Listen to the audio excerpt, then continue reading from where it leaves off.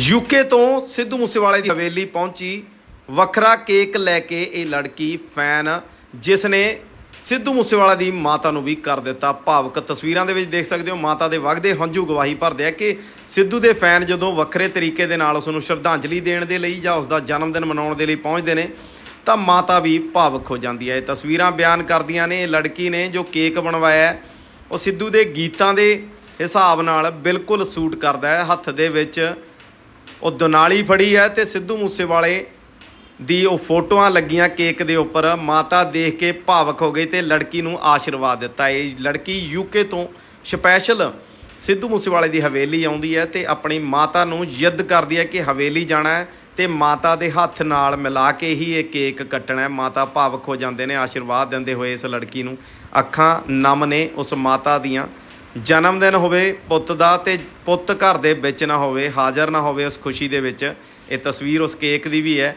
ਤੇ ਮਾਤਾ ਨੂੰ ਭਾਵਕ ਦੇਖ ਇਹ ਲੜਕੀ ਵੀ ਬਹੁਤ ਜ਼ਿਆਦਾ ਭਾਵਕ ਹੋ ਜਾਂਦੀ ਹੈ ਤੇ ਰੋਣ ਲੱਗ ਪੈਂਦੀ ਹੈ। ਸਿੱਧੂ ਮੂਸੇਵਾਲਾ ਦੀ ਇਸ ਫੈਨ ਨੇ ਕੀ ਕੁਝ ਕਿਹਾ ਉਹ ਵੀ ਤੁਹਾਨੂੰ ਸੁਣਾਉਨੇ ਆ ਪਰ ਇਸ ਦਾ ਜਜ਼ਬਾ ਹੌਸਲਾ ਦੇਖ ਲਓ ਕਿ ਯੂਕੇ ਤੋਂ ਸਪੈਸ਼ਲ ਜਨਮ ਦਿਨ ਵਾਲੇ ਦਿਨ ਟਿਕਟਾਂ ਕਰਵਾ ਮੂਸੇ ਪਹੁੰਚੀ ਹੈ ਤੇ ਇਹ ਕੇਕ ਲੈ ਕੇ ਪਹੁੰਚੀ ਤੇ ਕੇਕ ਇਸ ਨੇ ਆਪਣੇ ਪਰਿਵਾਰ ਦੇ ਨਾਲ ਮਾਤਾ ਨੂੰ ਮਿਲ ਕਟਵਾਇਆ ਤੇ ਸਿੱਧੂ ਦੇ ਗੀਤਾਂ ਨੂੰ ਵੀ ਯਾਦ ਕੀਤਾ ਸਿੱਧੂ ਦੀਆਂ ਗੱਲਾਂ ਨੂੰ ਵੀ ਯਾਦ ਕੀਤਾ। ਇੱਕ ਹੋਰ ਫੈਨ ਦੇਖੋ ਤੁਸੀਂ ਕਿੰਨੇ ਭਾਵਕ ਹੋ ਰੋ ਰਹੀ ਹੈ।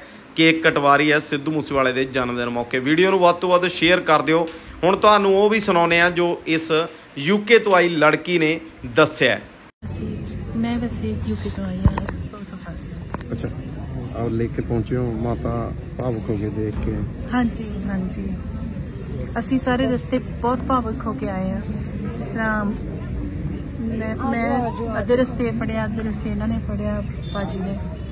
ਤਾਂ it it was completely very emotional very emotional ਬਹੁਤ ਮਨ ਕਰ ਰਿਹਾ ਸੀ ਆਉਣ ਦਾ ਇੱਥੋਂ ਵੀ ਯੂਕੇ ਤੋਂ ਆਇਆ ਹੈਗਾ। ਬਾਈ ਆਪਾਂ ਸਾਰਿਆਂ ਨੂੰ ਬਾਰ ਫੇਰ ਬਾਰ-ਬਾਰ ਬੇਨਤੀ ਕਰਦੇ ਆ। ਮੂਰਲੇ ਪਾਸੇ ਕਾਫਲੇ ਦੀਆਂ ਦੋਵੇਂ ਗੱਡੀਆਂ ਲੱਗਣਗੀਆਂ ਮਸਤੈਂਗ ਤੇ ਆਪਣੀ ਹੈਮਰ ਆ।